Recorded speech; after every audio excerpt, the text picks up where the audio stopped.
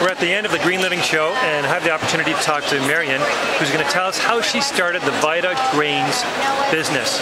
And apparently it's food for life because it actually saved your life. Tell me about it. Okay, well, about 13 years ago, I was diagnosed with diverticulitis. And after many, many infections and after many doctors, I ended up with a specialist. They decided that he wants to cut out a piece of my intestine. Upset. My reaction was, you don't want to know it. I left the office uh, and I drove in my car crying and screaming. I'm not losing my intestine. I have to do something about it. And I don't remember which came first, the, learning or the meditating, and I asked God to help me to find a solution. The solution came very fast. Um, I learned that I had to change my eating habits a little bit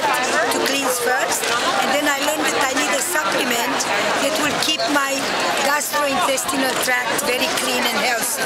And the rest is history. Uh, I went on the internet, I studied all the grains and all the seeds, and I put this together. After a while, everybody I knew wanted to eat them and to use them in their salads and food. And then my daughter decided to open a company to continue with Vida Grains. After so many years. People are still enjoying it. They're coming back telling us how wonderful they are. What other um, health stories do you have of people that use your products?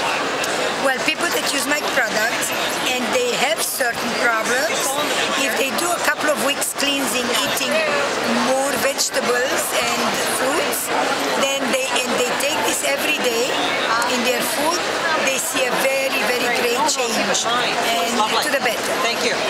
What are people saying at the show here? They love it. They absolutely love the recipe, the formula. They love it, love it, love it. I have yet to have one person that didn't love the taste of it. So here you have a power food that is good for you, it helps you, and it's also delicious. Good. Your website is? Website is? Food for life. Vida Grains, sorry, sorry, vidagrains.com.